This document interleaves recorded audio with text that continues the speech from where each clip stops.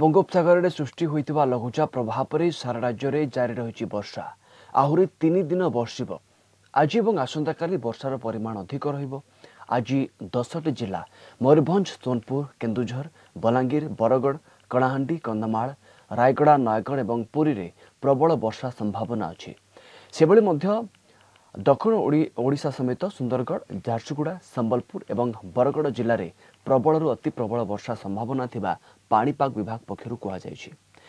ଏହାକୁ ଆଖି ଆଗରେ ରଖି ଏସବୁ ଜିଲ୍ଲାର ଜିଲ୍ଲାପାଳମାନଙ୍କୁ ଆଡଭାଇଜରି ଜାରି କରିଛନ୍ତି ସ୍ୱତନ୍ତ୍ର ରିଲିଫ କମିଶନର। ବନ୍ୟା ଆଶଙ୍କା ଥିବାରୁ ସେସବୁ ଜିଲ୍ଲାର ଜିଲ୍ଲାପାଳମାନଙ୍କୁ ସତର୍କ ରହିବା ପାଇଁ ଚିଠି ଲେଖିଛନ୍ତି ସ୍ୱତନ୍ତ୍ର ରିଲିଫ କମିଶନର ଏହା ସହିତ ସମସ୍ତ ପରିସ୍ଥିତିର ମୁକାବିଲା ସହିତ ତଳି ଅଞ୍ଚଳର ଲୋକଙ୍କୁ ସ୍ଥାନାନ୍ତର କରି ଆଶ୍ରୟସ୍ଥଳୀରେ ରଖିବାକୁ ନିର୍ଦ୍ଦେଶ ଦିଆଯାଇଛି।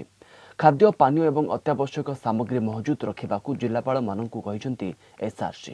ଜଳମଗ୍ନ ହୋଇ ପଡୁ- ପଡୁଥିବା ରାସ୍ତା ଏବଂ ବ୍ରିଜ୍ରେ ଗାଡ଼ି ମୋଟର ଚଳାଚଳ ବନ୍ଦ ରଖିବାକୁ ନିର୍ଦ୍ଦେଶ ଦେଇଛନ୍ତି ସ୍ୱତନ୍ତ୍ର ରିଲିଫ କମିଶନର। ସମୁଦ୍ର ଭିତରକୁ ଯିବା ପାଇଁ ମଧ୍ୟ ମତ୍ସ୍ୟଜୀବୀଙ୍କୁ ବାରଣ କରାଯାଇଛି।